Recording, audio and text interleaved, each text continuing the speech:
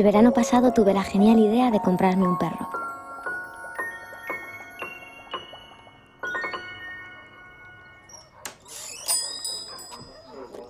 Todo comenzó cuando Manuel me dejó, y no se me ocurrió nada mejor que sustituirle por un gran perro, con mucho pelo y una boca enorme.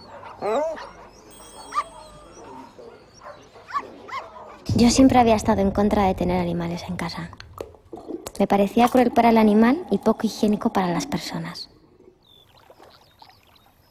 Ni siquiera quise que nos quedáramos con la tortuga que le habían regalado a Manuel por su cumpleaños sus compañeros de trabajo.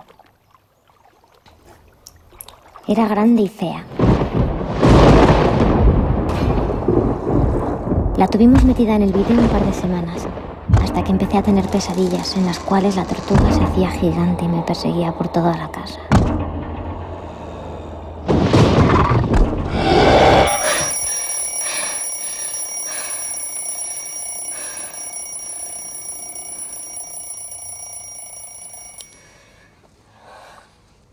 Conseguí convencer a Manuel de que la llevase al río que pasa cerca de su pueblo.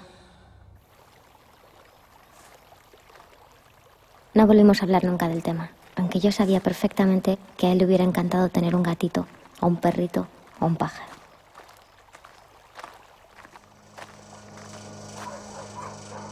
Quizá fue por eso, por venganza, por lo que decidí comprarme un perro. Ahora que ya no estás, me compro un perro y te quedas sin conocerlo.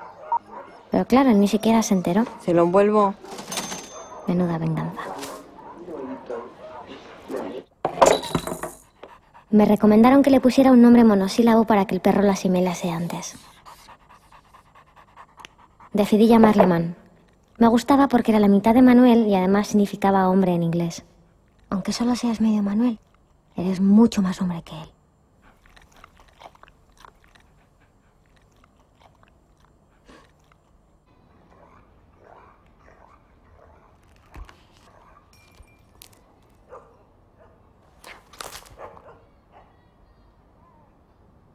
Manuel tiene una parte de hombre y otra de Well.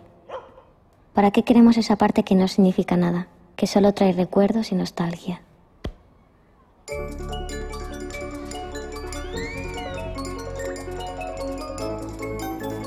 Al principio, cuando nos sacaba a pasear por el barrio, me daba un poco de vergüenza llamarle por su nombre.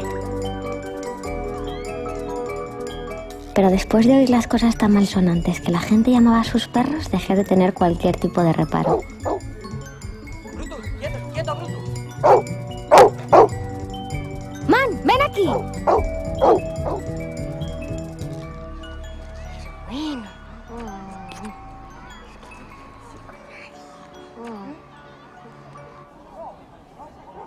Man y yo solíamos ir todos los domingos a un mercadillo.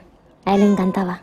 Pasaba la mañana de puesto en puesto detrás de todo lo que se movía o llamaba su atención. Me recordaba cuando iba con Manuel, que disfrutaba enseñándome todo tipo de trastos viejos. Volvía locos a los tenderos regateando sin parar. Él siempre me decía que había que regatear, que subían el precio para los turistas, pero a mí me daba vergüenza. Man creció, y aunque le había cogido cariño, después de varios meses conviviendo con él, empecé a hartarme. No era ni la mitad de lo que había sido Manuel. No era más que un pobre perro que se merecía algo mejor que vivir conmigo.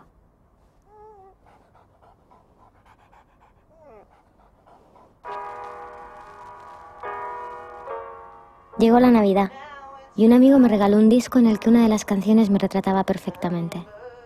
Decía que tener un gran perro cuando se es joven y no se quiere estar solo es ya un aviso de derrota. Si fuéramos tan libres como decimos, no necesitaríamos perros para reemplazar a nadie. Me sentía fatal. Ponía la canción una y otra vez mientras Mam me miraba con esos ojos que parecía que me comprendían. Yo quería ser libre, pero esa mitad de Manuel que todavía estaba conmigo me lo impedía. Quizá con otro nombre me habría ayudado a olvidarle, pero ya era demasiado tarde para cambiárselo. Así que tuve que tomar una decisión. Como todos los años, el día 24 fuimos a cenar toda la familia a casa de mis padres. No les había contado nada de Man. ni siquiera que Manuel me había dejado. Now it's time to remember. Is that a symptom of love? If I was free, don't need a dog to believe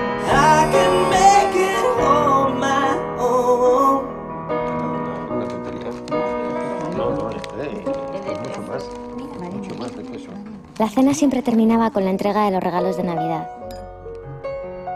Cada año mi madre hacía un sorteo para decidir quién regalaba a quién. El año pasado me había tocado Manuel. Le hice una bufanda de lana y él me regaló un álbum lleno de fotos.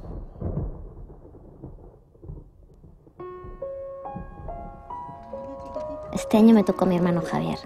Le había comprado una colonia, pero cuando estaba en casa envolviéndola, me di cuenta de que esa era mi oportunidad de deshacerme del perro y empezar una nueva vida. Dejé a Man en el coche durante la cena y en el momento de dar los regalos bajé por él.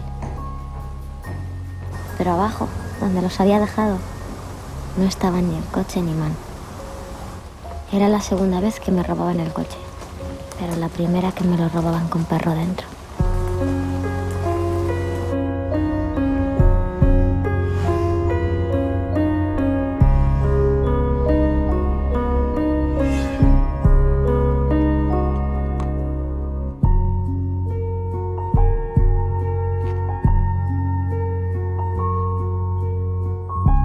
El coche lo encontró la policía en un descampado a los pocos días, pero del perro ni rastro.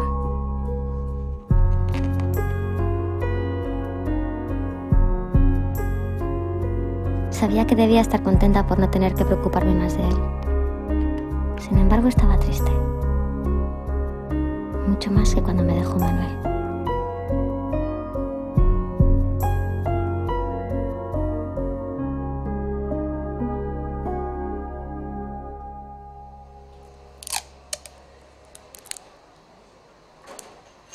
Puse carteles con la foto de Man por todo el barrio. No hubo noticias durante varios días, hasta que una mañana llamaron a la puerta.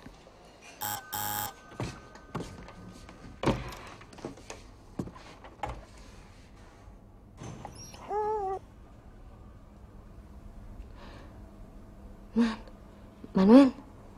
Manuel y Man juntos. No me lo podía creer.